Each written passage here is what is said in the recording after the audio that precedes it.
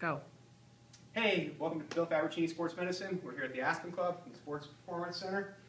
I'm going to take you through a series of calisthenic drills. These are great to use during the workout if you really want to challenge your, oh, your client's balance, stability, coordination. Throw them in during the strength part of the workout or blast them out at the end. Here's the, here's the workout sequence. We're going to do 15. Now again, we want to see good plank stabilization. Nice posture. If your clients can't stabilize well with a ball, don't have them do this, or have them use a more stable surface. I'm going to go right to the more advanced version. Stabilize. Then we're going to go our runners. Now the key when you do these runners is extend out that back hip, get the glute. Ball the foot just like a sprinter, full extension, not like this. 15 times, push, full extension all the way out. From there, once the heart rate's up, you're challenging the core, our hops side to side.